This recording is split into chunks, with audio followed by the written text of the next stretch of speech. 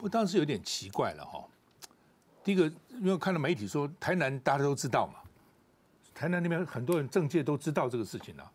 那大家知道赖清德不知道，这是第一个。不可能啊！第二个，你要用部会首长哦，情治单位那么多啊，对，情治单位不知道。对，照理讲都都要问的，到底他过去这个人你怎么都要去都要去征询一下的。哦，所以这个有点奇怪。但另外一种可能，搞不好误会了王宏威了。嗯，不是因为王宏威秀那个照片，所以呢，这个李梦媛才跟他小三说：“哎，人家在拍我们。”搞不好赖清德就跟他讲说：“以前的事就算了哈，从现在开始当部长了，跟以前是不同的。就老沈讲的，次长无所谓了，部长给我好好做，所有的事情给我以前的事情都给我了结干净。今后这个夹着尾巴做人，好好当你的部长。”他一听，赶快去跟小兰说：“哎，今天开始。”不行了，不行了！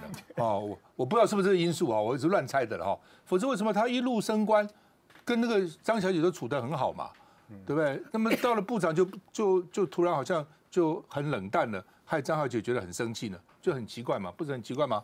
季凯，哎，谢龙这次把这个陈松燕的事情跟李梦燕把他俩放在一起了哈。那我我这这样我这样讲好了，大概两个月前就有人跟我讲说，新内就是那个内阁刚刚组成后没有多久，就有人讲说。有小三的这个问题，那因为我们知道这个这个事情，就是第一个，如果已经有人在传这个风声，就一定有人去讲。他们是比较专业问政，我没有详细再去问。不过我听他语气听起来应该还有啊，所以可能戴清德跟这个内阁还要注意这个注意这个事情。那第二个，至于李梦燕这个事情，我觉得是两个两个层面，现在大家会去讨论的。从一开始不是只有不是只有讲到张刚伟这个这个事情嘛？刚刚提到几个人，我张刚伟的律师跟他的关系。第二个讲到朱罗三人，哎，朱罗三喜瓜嘎伊郎，朱罗三人这个背景大家可能不知道。我记得他跟朱罗三人吃饭，除了有什么不法，要不然朱罗三人实际上最有名的就是当初换住了这个事情，因为他他是他是这个长荣交响乐团的创办人啊，哦，张荣发对他非常信任，他是他是文化大学音乐系毕业的。那朱罗三人一方面是对音乐很了解，一方面他对这个谱画什么那些有有些有些兴趣嘛。那当初他就认为说，他判断说可能红教是会会被换下来。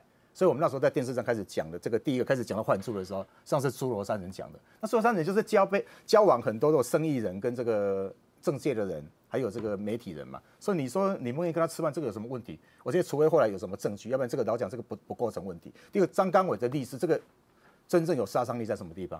上就是现在在爆料在讲了，就是这个他这个小三这个路配住的地方是张刚伟他盖的。